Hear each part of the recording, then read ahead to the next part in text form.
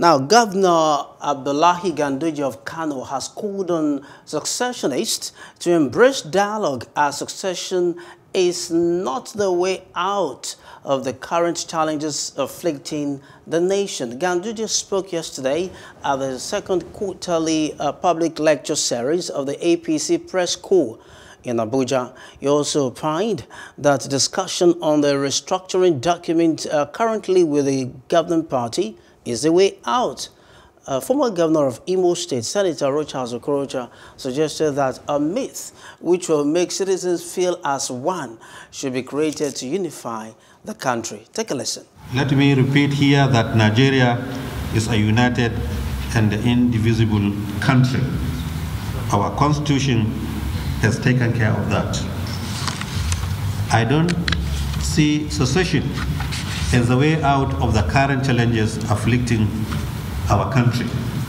Instead, advocates of secession should have a change of heart, and I recommend dialogue as a crucial option for addressing such problems.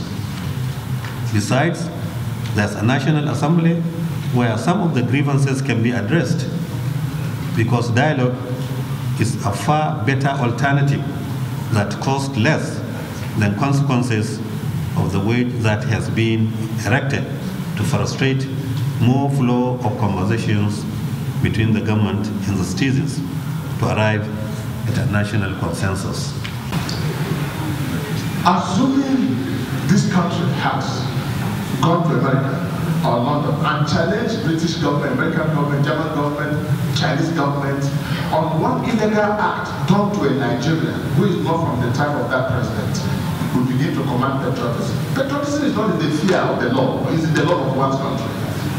We've not been able to bring out the love out of I'm talking about this. The meat I'm talking about. There's no time, I wish I can explain this.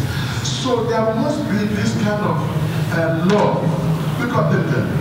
All the governors are friends. Us drink coffee and you know that there's no provision about that. We look at areas where we are having a lot of waste, where we are grossly inefficient, we make it more efficient. It's a matter of semantics. We call it restructuring. It doesn't imply breaking up our nation. No. And people who are agitating for a separate nation, I think that if Nigeria is made more efficient, nobody will find it convenient to say that, that he wants to go away. Nigeria is naturally endowed. We have a lot of endowment. All sections, all states in Nigeria have got something to offer. Hello. Hope you enjoyed the news. Please do subscribe to our YouTube channel and don't forget to hit the notification button so you get notified about fresh news updates.